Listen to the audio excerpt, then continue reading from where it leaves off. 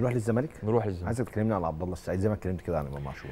عبد الله السعيد آه، يعني رجاء من جوميز. آه، لعيب عنده 38 سنة أو 37 سنة. آه، لازم أوفر له مساحات الجري ولازم أقلل له مساحات الجري وأستغله في أقرب حتة.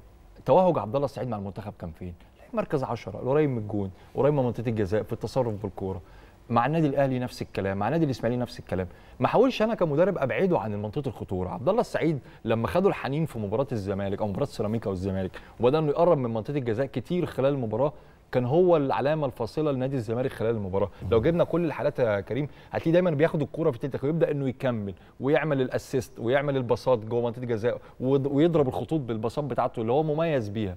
مين اللعيب اللي مميز في مصر إنه يعمل الشغل ده غير عبد الله السعيد؟ ما ينفعش يكون عندي لعيب في السكواد بتاعي بإمكانيات عبد الله السعيد كرة التمرير بص هو مكمل فين يا كريم؟ هو كان بيلعب المباراة لعيب رقم 8 على الدايرة جنب دونجا. ورغم كده مكمل و- وكمل جري جوه منطقة الجزاء.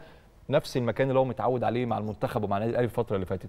كل المشاهد الخطرة لنادي الزمالك طوال المباراة كان البطل بتاعها عبد الله السعيد سواء بالأسيستات سواء بالتمريرات الجيدة ما بين الخطوط اللي كان بيقوم بيها خلال المباراة سواء الهدف اللي هو سجله من تصويبه واللاعب اللي صاحب القرار دايما في المباراة الأسيست حتى اللي عمله في الثلث الأخير كل القرارات بتاعته يا كريم هتلاقي قرارات هجومية.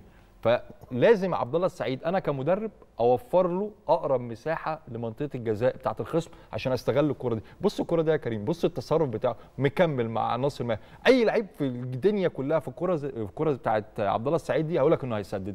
لكن لعيب عنده فيجن وعنده رؤية ودايما بيشوف تحركات اللعيبة اللي حواليه تمريرة سحرية لزيزو. اتصرف فيها مش احسن حاجة لكن بيبين لك قد إيه قيمه عبد الله السعيد في وجوده على منطقه الجزاء. يمكن الكره دي هيعمل اسيست أو هيعمل تمريره عرضية لناصر منسي اللي هنجيله بعد شوية. طبعا تصرف غير آه، موفق من ناصر لكن دايما لك دايما خطورة عبد الله السعيد قدام منطقة الجزاء. وفي المساحات القريبة من منطقة الجزاء يمكن كرة الهدف اتصرف فيها شحاته بشكل جيد بصراحة. لعب في مركز مش مركزه عنده اندفاع وعنده روح وعنده قلب. القرارات بتاعت عبد الله السعيد هي اللي خلته يتفوق